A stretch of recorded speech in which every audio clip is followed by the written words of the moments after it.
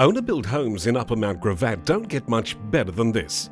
Functionality and a high level of finish have been achieved in this desirable cul-de-sac position. Master with spa ensuite and main bath with standalone bath and separate shower to meet the demands of a large family.